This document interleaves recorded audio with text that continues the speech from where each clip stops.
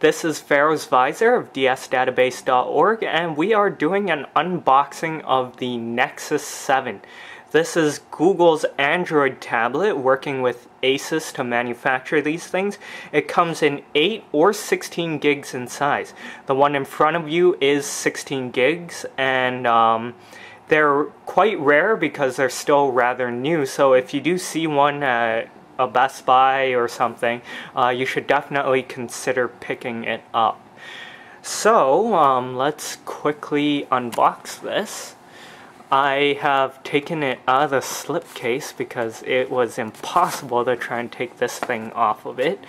Um, so if we just take a look here, we have Nexus 7, uh, the Asus logo. The back says made for Google Play. Google Play is one touch away with Nexus 7. Explore the world's largest ebook store, millions of songs, thousands of movies, and more than 500,000 apps and games. Um, I'm in Canada, so this is the French text. Uh, beside it, full-fledged Android tablet. Nexus 7 features a powerful quad-core processor um, that is the Tegra, Tegra 3 clocked at about 1.2, 1.3 gigahertz quad-core. Um, Front-facing camera, that's about um, 1.2 megapixels. And a vivid 7-inch HD display that so that you can play your favorite games, video chat, and watch movies in stunning clarity.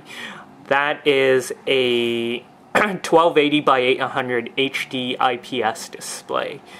And lastly, we have Pure Google. Nexus 7 runs the latest version of Android. Comes with all the Google apps you love. Check Gmail, browse the web with Chrome, watch videos on YouTube, and chat face-to-face -face with up to 9 friends with Google Plus Hangout. So um, that's just alluding to the fact that the Nexus 7 is um, one of the first, if not the first device to run Android 4.1 Jelly Bean. So, um, let me get this opened up. I'm just going to take this away from the camera for a moment. So, um, the Nexus 7 is...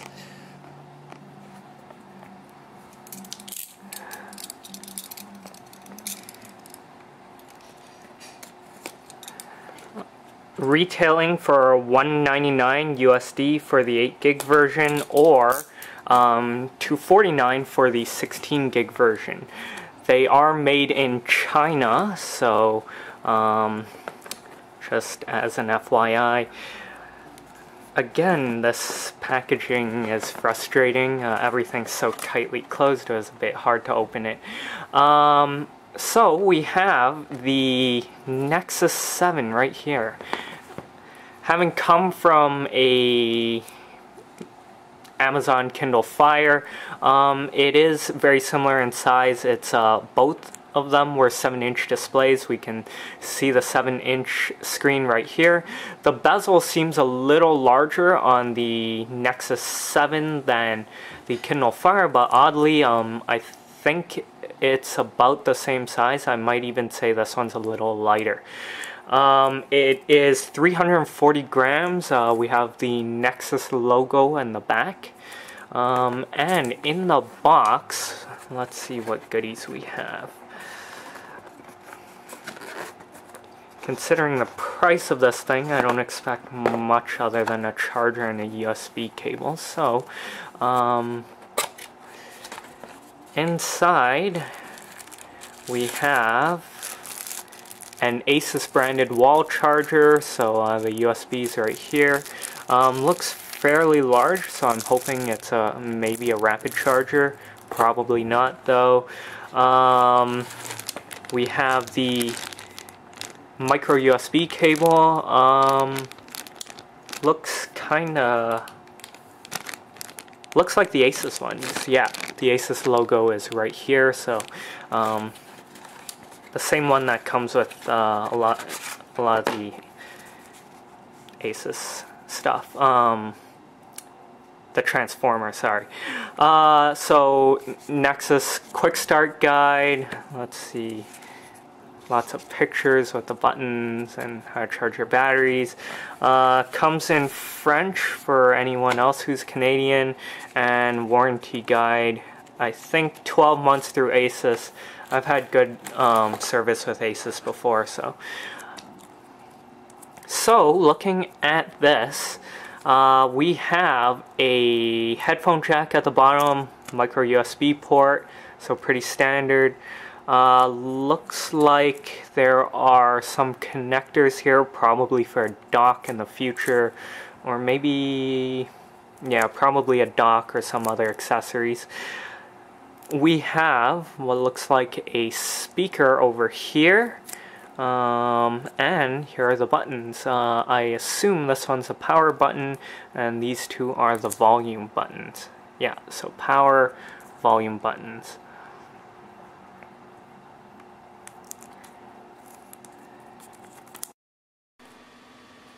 So now that I've had a few minutes to sort of rip open the wrapper, put in my personal information, get the device basically all set up, um, I thought we'd finally take a look at the hardware a little closer. The back is really the star of the show, I think.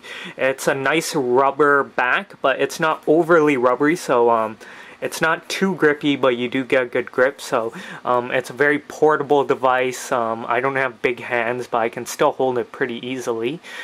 And, you know, you don't feel like it'll slide off, you're not worried about fingerprints on the back. And it, it does have that slick look with the Nexus logo and the Asus logo down here if you take a look, it is textured as well, so um, you get all these little dots that add to the grippiness. Um, if we take a look around again, uh, there are connectors here, um, but what I didn't mention was the speaker down here and the microphone up here. The buttons are pretty clickable. This one's a power button. There's a volume rocker. Um, they're easy to click and uh, they feel pretty good. The screen um, is pretty bright and very clear but I thought the colors seemed a little less vibrant. I'm not sure, I haven't played around with it more than a couple minutes, but um, looking at, you know, Optimus Prime, the red doesn't jump out as it normally does. Speaking of which, I forgot to mention that um, upon purchasing a Nexus 7, for a limited time, I think, it's a promotion. You're getting the Bourne Dominion, a free ebook for Play Books, um, and Transformer Dark of the Moon, that's for Play Movies, and you get stream of that movie for free. Um, also, you do get $25 credit at the Play Store, so that that's definitely a good deal if you do buy your apps um, playing around with the software, it is, of course, uh, running Jelly Bean, so it is one step higher than the um, ice cream sandwich, but um, you'll notice that things like the app drawer, the widgets, they're still very similar. I haven't noticed too much, uh, it is smooth, but um, Jelly Bean is supposed to be extremely smooth, and quite honestly, I've never had a problem with uh, ice cream sandwich yet, so um, I can't tell the difference. But one really annoying thing I've had to deal with right now is the software buttons. You get the three buttons, no um, touch buttons, no physical buttons, you get the software buttons. So they take up a chunk of your screen, but um, what what bothers me is that the ice cream sandwich version uh, tablets would have the buttons on the side and uh, design wise it looks a little better and it doesn't um, I guess psychologically it doesn't seem to get in the way as much. But right dead center might it doesn't look as good. It's taking on the look of the phone software rather than the tablet um, nevertheless, I mean, they work, and I don't have a problem with it uh, too much, aside from um, the design. Speaking of which, um, by default you do get um, Google Chrome as a stock browser now.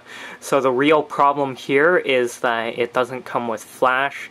You're going to have to root your phone or sideload Flash um, to get it all working. But um, I am very happy with the performance. Uh, if we look at DS database, uh, it loads really fast. Um, so, you know, it is uh, it is a successor of Ice Cream Sandwich. You can clearly see some differences in the front screen. Uh, it's making use of all the space, but um, it, it, still feels very similar, and anyone that's used Ice Cream Sandwich isn't going to feel out of place with uh, this device. So um, that's it. I will definitely be posting up more videos as I get to play with my Nexus 7 a little more. Thank you so much for watching.